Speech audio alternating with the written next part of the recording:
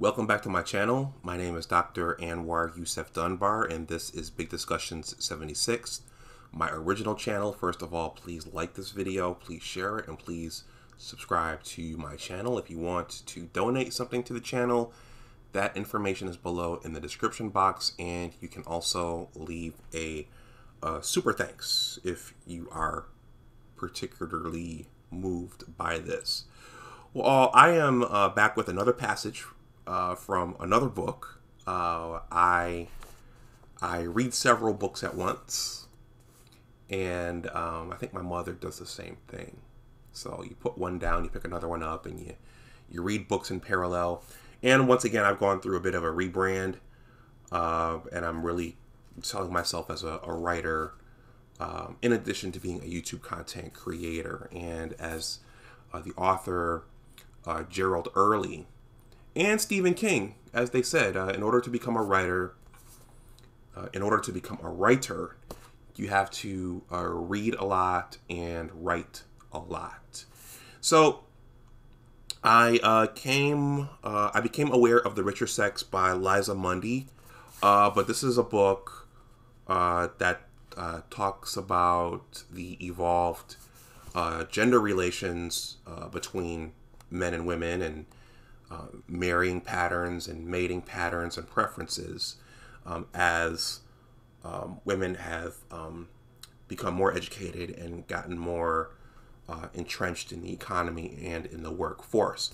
Uh, so far, it's a very good book, and I'm going to read a passage from chapter four. This is uh, the new rules of mating.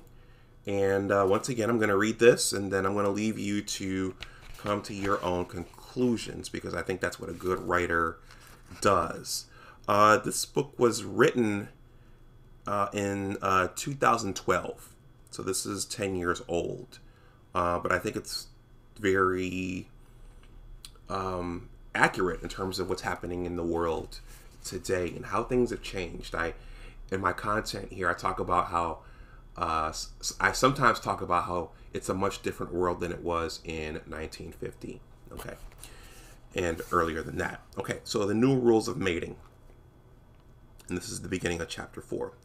Women in college dorms now routinely sit around debating whether they would be willing to date or marry a man who did not go to college.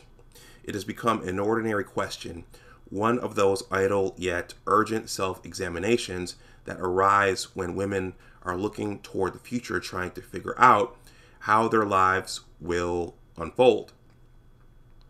Women fresh out of college ask one another the same question. A friend and I were talking about uh, deal breakers.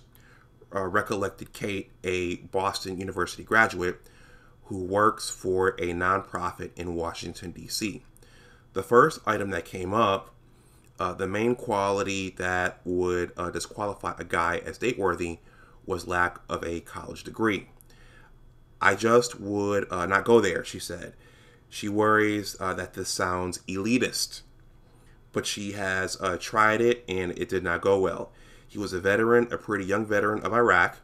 He's a nice guy, but we just clearly had nothing to talk about. He didn't even vote. I was like, You were in, in Iraq and you don't vote. She reflected, I feel like uh, the way my life is, what I say and do, there's just a threshold that I think college creates that I wouldn't go under. This is a problem for thousands of women surveying the romantic landscape uh, and seeing a dearth of men as well uh, schooled as they are, and it's new. When I was in college in the 1980s, my roommates and I sat around talking about our futures too, and what we wondered was how we might have families and careers of our own, given how high powered the men we knew were.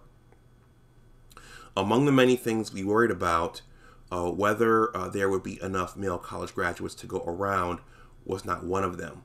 But it also never occurred to us that we might ask a husband to stay at home or that he might want to. It never occurred to us that a man might be willing to privilege our career over his. Nor did we wonder what the point of a man is. Women now ask this question. A guy no longer is a necessary thing, observed Betsy Soler. Soler.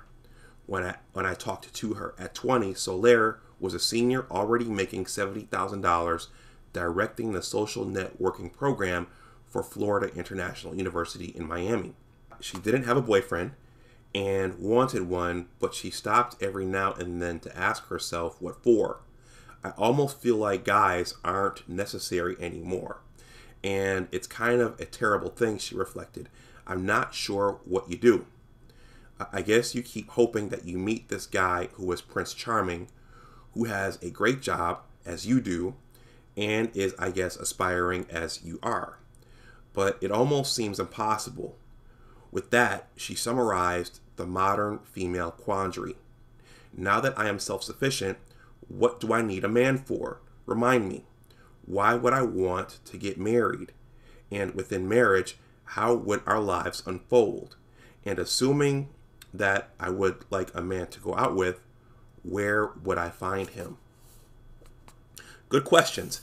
And they show how disorienting women's economic rise uh, can be for the women enjoying it. There tends to be disagreement among ac- academics over what men and women want in a mate. But it is safe to say this during the second half of the, of the 20th century, both men and women came to prefer partnering with someone from the same educational and socio-economic background. Women no longer expect to marry up, to be uh, Princess Diana, young and naive, attaching herself to an older, better educated husband.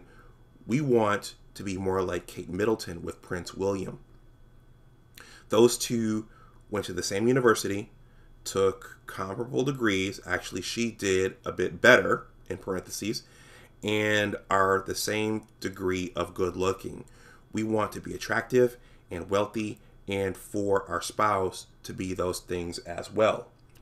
We want to be we want to be Sheryl Sandberg, COO of Facebook, married to Dave Goldberg, CEO of SurveyMonkey. We want to be a gorgeous and wildly successful internet entrepreneur married to a gorgeous and wildly successful internet entrepreneur. Women have not been uh, trading beauty for wealth, uh, not for quite a while. Women have been trading beauty and wealth for beauty and wealth. In a sense, as sociologist Andrew Cherlin points out, we have always wanted spouses who resemble us, but matching once meant marrying someone from your religion or ethnic culture. It was common in the 1950s and 1960s for a Catholic woman who did not have a college education to marry a Catholic man who did, because what mattered was being Catholic. To marry outside your religion or culture was considered risky. Now we match through education or lack of it. Education for many is our culture. This is a development with real social ramifications, not all of them good. It is one reason social and income inequality have become uh, exacerbated. As men and women with high earning potential seek out one another, people with less education pair up or more likely don't marry at all, and the economic rift between Americans grows wider. Once, when women did marry up, marriage was a social marriage had a social leveling effect. These days, marriage widens the growing division between the haves and the have nots. This trend toward uh, matching may be one reason why lately even the Darwinian argument has been revised. A new theory among people who look at evolutionary incentives for parenting is that early woman did not trade her looks and fertility in return for provision from a strong and high status male. Instead, early women, early woman was herself an energetic and competent provider. With her foraging, uh, Pleistocene mom brought in as many calories as Pleistocene dad, maybe more. The biological anthropologist Helen Fisher argues that what we are seeing is a return to the way humans used to live. She points out that during our hunter gatherer phase, women were not exactly hanging around the encampment waiting for men to haul in freshly killed woolly mammoth. To the contrary, women were the reliable bringers in of uh, sustenance, going out every day to find roots and berries their families could survive on. While men trickled in periodically with the odd but delectable hunting prize, the occasional piece of protein that was roundly applauded, she argues that we are seeing a return to the original human pattern where women were co providers. All right, that is an early passage from chapter 4 of uh, The Richer Sex. Uh, and that chapter is entitled The New Rules of Mating. So I just, I, you know, I had heard about this book. I thought it was an interesting book. Uh, certainly, uh, social norms have changed, uh, gender relations have changed uh, since the time when my parents were young, and since the time my grandparents and their parents were young. Things have changed, and I think that this book um, very much captures that. Um, as I read through this book and I, and I find chapters and passages that I think are worth capturing here on my YouTube channel, I will uh, continue to upload content similar to this.